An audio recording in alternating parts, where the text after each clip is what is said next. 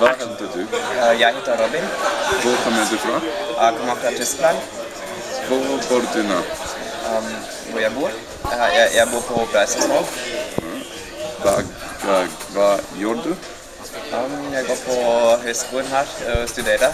Eh, Hvilke språk snakker og forstår du?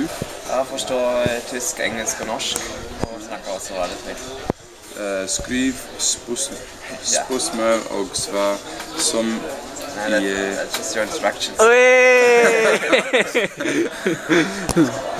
write questions and answers like in an interview. Yeah. In other words, you will have to write five short interviews. Yeah. Like a question. Oh, it says in English, I'm not Good job. Thanks, Robin. It was great having you on this television program. Vær så god.